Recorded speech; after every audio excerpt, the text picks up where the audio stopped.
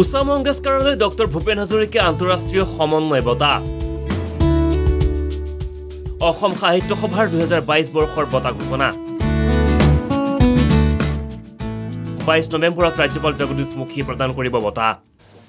Doctor Bhupen Hazarika আন্তৰ্জাতিক সমন্বয় বঁটা দুহেজাৰ বাইছৰ বাইছ চন বাইছৰ বাইছ নৱেম্বৰত আমি নেটফি হাউচত উদযাপন কৰিম।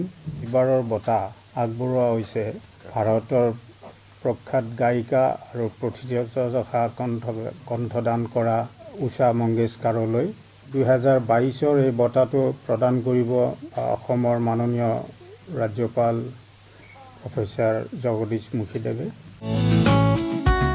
প্ৰতি দুবছৰৰ মূৰে মূৰে অসম সাহিত্য সভাই দেশৰ ভিতৰতে নিজৰ কৰ্মৰাজিৰ জৰিয়তে সুখ্যাতি অৰ্জন কৰা বিশিষ্ট ব্যক্তিক প্ৰদান কৰি আহিছে এক বিশেষ বঁটা। এইবাৰো ডক্টৰ কুলধৰ শইকীয়াৰ নেতৃত্বাধীন অসম সাহিত্য সভাই প্ৰদান কৰিব লগা বঁটা প্ৰাপকৰ নাম ঘোষণা কৰিছে। উষা মংগেশকাৰক অসম সাহিত্য সভাই প্ৰদান কৰিব ডক্টৰ ভূপেন হাজৰিকা আন্তঃৰাষ্ট্ৰীয় সমন্বয় বঁটা। শনিবাৰে সভাপতি ডক্টৰ কুলধৰ শইকীয়াই সংবাদমেলযোগে ঘোষণা কৰিলে এই কথা। গুৱাহাটীৰ নেটফি হাউচত প্ৰদান কৰিব লগা এই বঁটাত থাকিব নগদ পাঁচ লাখ টকা আৰু মানপত্ৰ। বঁটাত সহযোগ কৰিছে নুমলীগড় ৰিফাইনেৰী লিমিটেডে। একৈছ নৱেম্বৰত গুৱাহাটীলৈ আহিব উষা মংগেশকাৰ সহযোগিতা আগবঢ়াইছে নুমলীগড় তেল শোধনাগাৰৰ ফালৰ পৰা। তেওঁলোকৰ এই প্ৰচেষ্টাক আমি ধন্যবাদ জনাইছোঁ। আমাৰ তেখেতে একৈছ তাৰিখে গধূলি আহিব আৰু বাইছৰ প্ৰগ্ৰেম কৰি তেইছ তাৰিখে যোৱাৰ কথা। একেখন সংবাদমেলতে অসম সাহিত্য সভাৰ নিৰ্বাচনৰ ফলাফল সম্পৰ্কতো মন্তব্য সভাপতি কুলধৰ শইকীয়াৰ। পাঁচ ডিচেম্বৰত ছিল কৰা হ'ব বেলট বাকচ।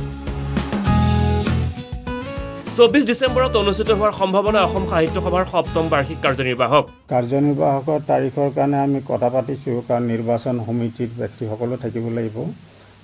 এনে ভবা হৈছে চৌব্বিছ তাৰিখ বা তেনেকুৱা ধৰণৰ তাৰিখ এটাত য'ত দুদিন একেলগে বন্ধৰ কথা আহিব পাৰে যেনে শনি ৰবিবাৰ এনেকুৱা ধৰণে চৌব্বিছ ডিচেম্বৰ বুলি ভবা হৈছে। আনহাতে অসম সাহিত্য সভাৰ নিৰ্বাচনক লৈ শেহতীয়াকৈ সৃষ্টি হোৱা ৰিগিং সন্দৰ্ভতো প্ৰতিক্ৰিয়া কুলধৰ শইকীয়াৰ অভিযুক্ত কৰ্মকৰ্তাৰ বিৰুদ্ধে পত্ৰ প্ৰেৰণ কৰা হৈছে। নিৰ্বাচনী সমিতিয়ে বিষয়টো চোৱা চিতা কৰিছে।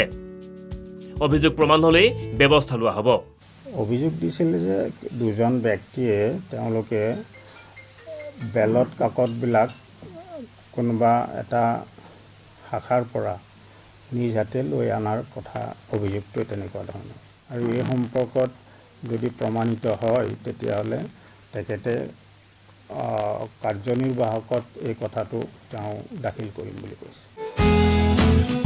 কেমেৰাত পলাশ ঠাকুৰীৰ সহযোগত কনক শইকীয়াৰ ৰিপৰ্ট দ্য নিউজ প্লাছ।